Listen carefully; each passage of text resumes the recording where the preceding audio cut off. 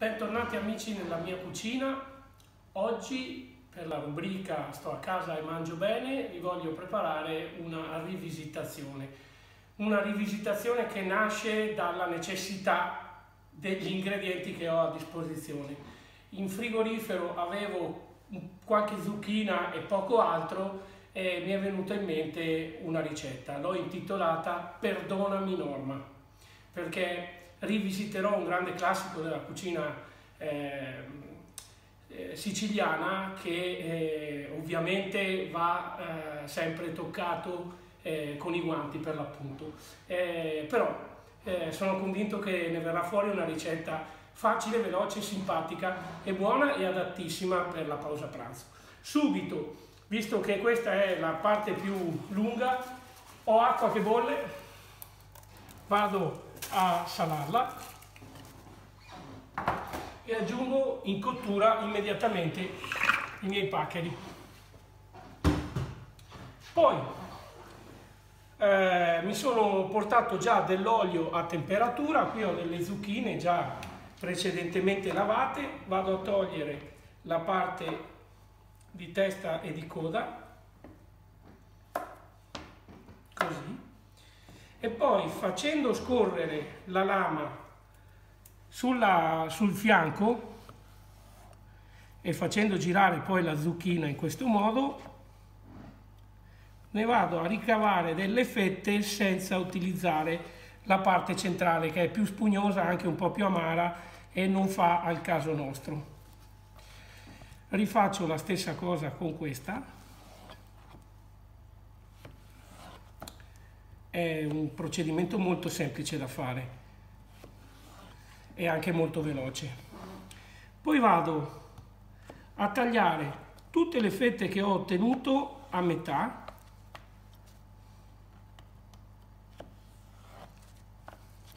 Magari la prima che è sempre la più grande posso tagliarla anche in tre. E ne vado a fare dei cubetti. Scusate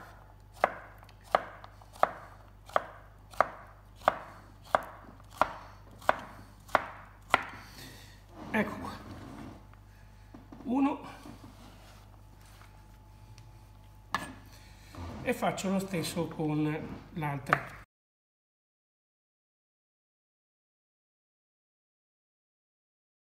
Cerco di mantenere più o meno lo stesso calibro perché questo naturalmente mi aiuterà in cottura. Ora vado a verificare l'olio. È ancora un po' presto, però direi che possiamo già cominciare. E un po' alla volta vado a mettere in frittura così, senza niente altro, le mie zucchine. Le faccio un po' per volta. Intanto che queste friggono, cominciamo a preparare la salsa. Do anche magari una girata alla pasta, così propiziatoria per così dire. Quindi prendo un filo d'olio,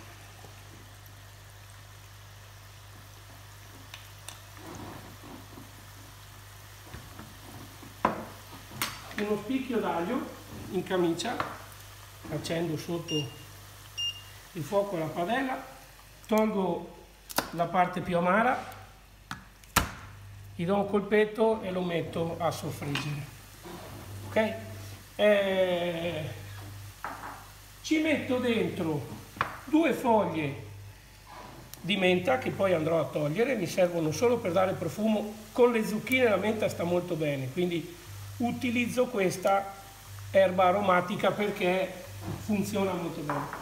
E eh, porto a soffritto l'olio con la menta.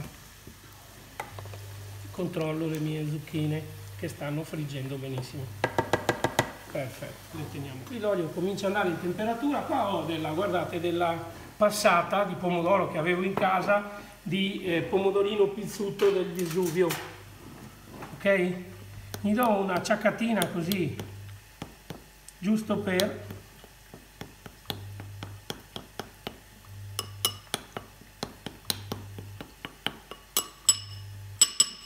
e lo metto in padella. Là.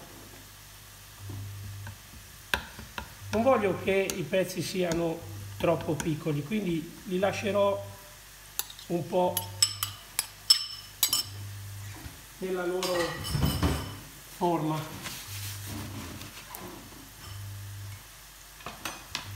Intanto ancora una giratina alla pasta che non faremo cuocere completamente nell'acqua ma che un po' servirà. Prendo una padellina così ho tutti i fuochi belli pieni. Do appena un giro d'olio e mi prendo dei pinoli una variante che con la norma c'entra poco ma li avevo e mi sembra che stiano bene quindi ce li voglio mettere ne metto un po' e li faccio leggermente tostare magari con un pizzico di sale Intanto qui ho la teglietta con la quale appena le zucchine saranno pronte, manca ancora un po', le andremo a scolare. Niente, ho, abbiamo tutto sul fuoco.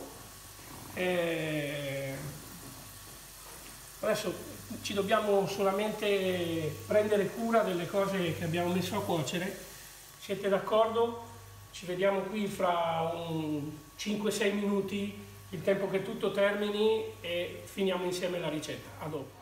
Eccoci, bentornati. Allora, facciamo un po' il punto della situazione. Abbiamo i pinoli che hanno tostato, eh, le zucchine che sono state fritte eh, e la pasta che aggiunto, eh, ha raggiunto il grado di precottura corretta. Ora assembliamo il eh, sugo. Subito un pizzico di sale, non troppo perché questi sono pomodori in conserva, hanno già la loro sapidità e del pepe.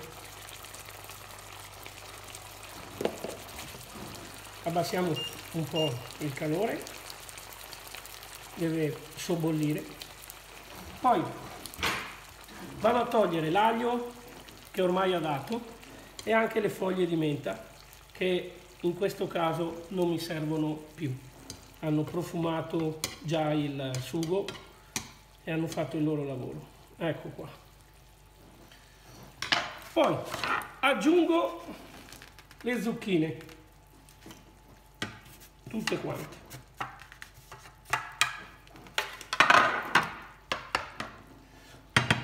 Aggiungo i pinoli, magari non tutti, non vorrei sbilanciarlo troppo, ancora un po'.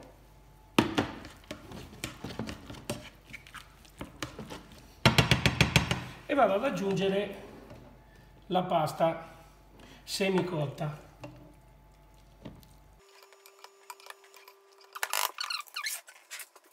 porto temperatura altissima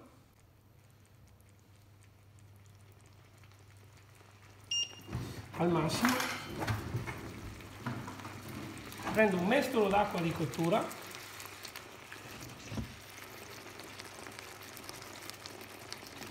E comincio a far mantecare la pasta.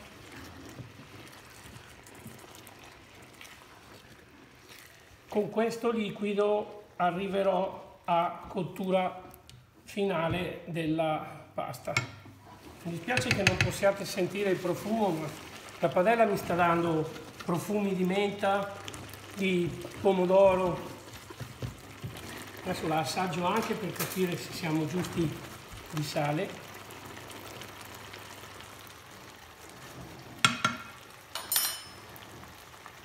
E vuole il pizzico po'.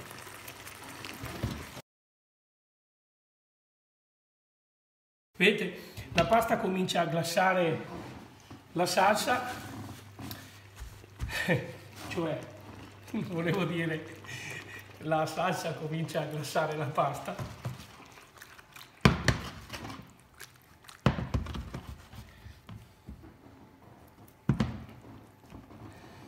Sta diventando veramente golosa. Abbiamo bisogno ancora di qualche minuto per asciugarla bene.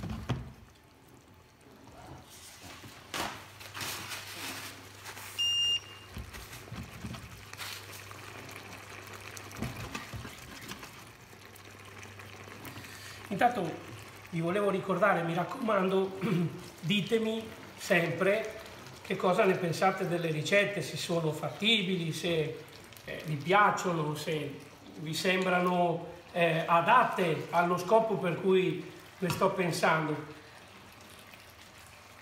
Insomma, fatemi sapere come va.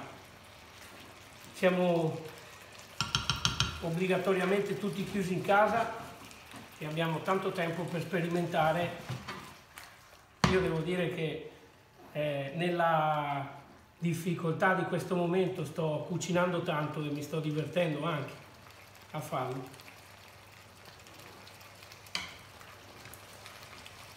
Intanto, finché attendo la mantecatura, non le voglio togliere tutte perché hanno una bella consistenza in bocca, però qualche pellicina del pomodoro posso anche toglierla.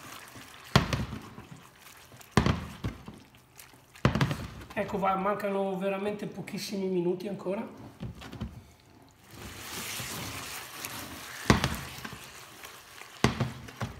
Vedete questo ultimo passaggio dalla cottura prima in acqua e poi in padella eh, è fondamentale.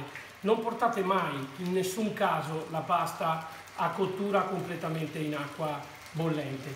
Lasciate sempre gli ultimi 5 minuti in padella perché rilascerà quella parte di amido che andrà a legare tutte le vostre salse e i vostri sughi.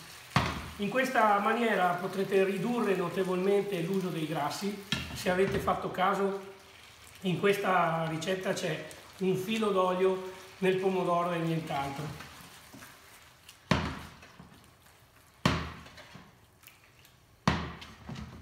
Ecco, la salsa è sufficientemente ridotta e posso impiattare il tutto.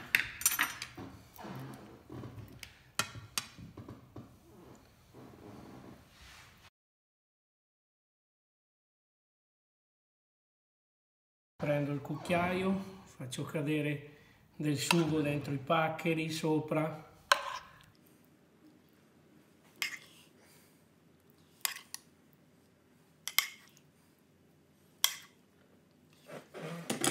Bel giro d'olio.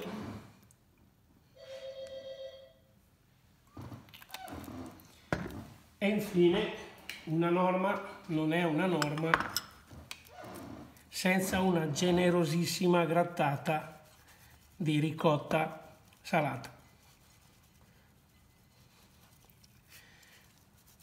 Mettetene pure in abbondanza.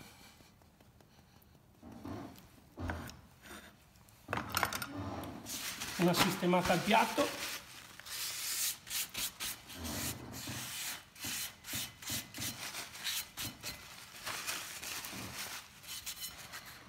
Ancora un giro d'olio per finire.